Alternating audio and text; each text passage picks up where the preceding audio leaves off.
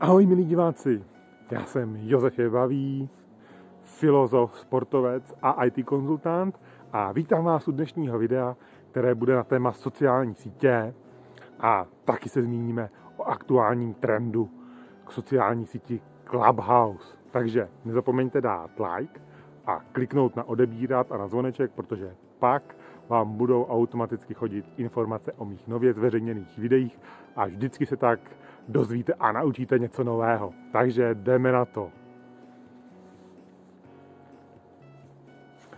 Máme leden, leden roku 2021 a do České republiky se už dostala sociální síť Clubhouse. No, dostala, zatím ji používá jen pár uživatelů, ale hodně se o ní mluví. Takže pro mě je to příležitost se taky k ní zmínit a ještě vám říct něco dalšího o dalších sociálních sítích. Pokud jde o ten Clubhouse, tak zatím to teda používá jen pár lidí a zkoušej to, každý tam chce být. Asi tam chtějí být proto, aby jim to neuniklo, mají pocit, že o něco přijdou.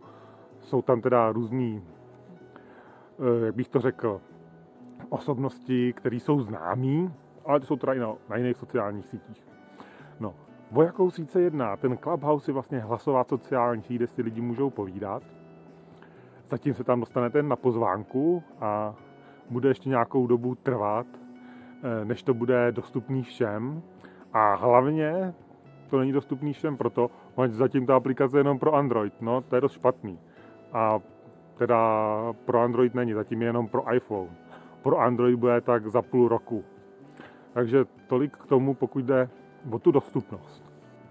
No, čemu ta síť bude dobrá, to se uvidí, ale určitě je vhodná pro ty, co mají třeba dobrý hlasový projev, rádi si povídají, rádi hlavně mluví, že jo, máš takových lidí, kteří uh, mluví je spousta a pak je teda spousta lidí, kteří poslouchají, takže ty, co tam budou chtít mluvit, tak tam můžou mluvit a ty, co rádi poslouchají, tam můžou poslouchat. No a jakou predikují té síti budoucnost? V zásadě jsou dvě možnosti. Buď to je koupí nějaká velká firma, a nebo je nekoupí, řečeno se nenechají prodat, a pak je nějaká velká firma skopíruje.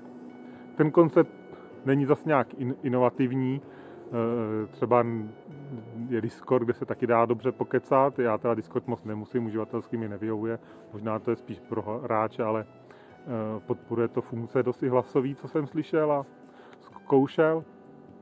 No, ale teďka to tak nějak roste ten Clubhouse, tak třeba se uchytí, ale taky se nemusí uchytit, že jo. Nakonec ani ten Google Plus se neuchytil, že jo. Takže uvidíme, co z toho bude. No, já bych tak zmínil, že, jo, že vlastně sociální sítě komunikaci mezi lidma a sítě to nějaký máme, každá se hodí na jistý účely, nejvíc uživatelů má asi pořád ten Facebook, ale problém těch všech sociálních sítí je, že v podstatě vy to nemáte pod kontrolou. Ten nejhlavnější problém je, že lidi si myslí, že tam jsou uživatelé, ale uživatelé Facebooku nejsou uživatelé, a to si jenom, nebo takhle, ty uživatelé nejsou zákazníkama, ale ty uživatelé si to myslí. Ty uživatelé jsou zboží, že jo? Poněvadž zákazníci jsou ty, co platí reklamu, nebo obecně co platí v případě dnešní doby a Facebooku to je reklama. Takže uživatel tam je zboží a je prodávaný. Takže jako v té síti jsou dost velký rizika, mač vy jako uživatelé tam nejste na prvním místě a může vás taky z té sítě eh, vykopnout, že jo, vy třeba Trump, ale jako v zásadě on s ním žádnou extra smlouvu neměl a jsou tam nějaký pravidla a je to soukromá firma, ten Twitter a Facebook a jako zatím není zákonem, že by měli fungovat jako média a tím pádem e, dávat lidem možnost se projevovat, pokud teda například eh, nepropagují nacismus. Oni teda taky můžou propagovat komunismus, ale to je povolený. No, takže tolik eh, k těm sociálním sítím, které jsou známí, ale máme tu i spousta alternativ, že jo. Máme tu sociální sítě, které jsou třeba distribuované, takže jste nezávislí vlastně na té síti. Takováhle sítě, myslím, diaspora, já osobně jsem ji neskoušel. Ale jinak, co bych vám doporučil, vyzkoušejte síť Mivi, to je Mivi.com, tam já osobně jsem, tam totiž přešli lidi z Google+, A to ty lidi, kteří nechtěli používat Facebook, ale měli různé skupiny na tom Google+, typicky odborný. Já třeba tam dost sleduju jednu elektrotechnickou skupinu, takže bych vám doporučil tu Mivi, což má být nějaká open source implementace sociální sítě. To se když tak koukněte vy sami podrobně na tu licenci. Ale pokud to se sebou a svým životem a kariérou berete vážně, tak rozhodně byste neměli být na té sociální síti nějak vázaný, rozhodně byste neměli používat jenom jednu sociální síť. Správný řešení je, že byste měli mít nějaký vlastní nástroj a vlastní nástroj e, vázaný s něčím nezávislým, což je typicky doména. Když si pořídíte doménu, tak tím už ji máte jistou, to tam eh, ctějí se nějaký pravidla ohledně neutrality internetu, takže tu doménu by vám neměl nikdo vzít a s tou doménou si už můžete dělat cokoliv chcete.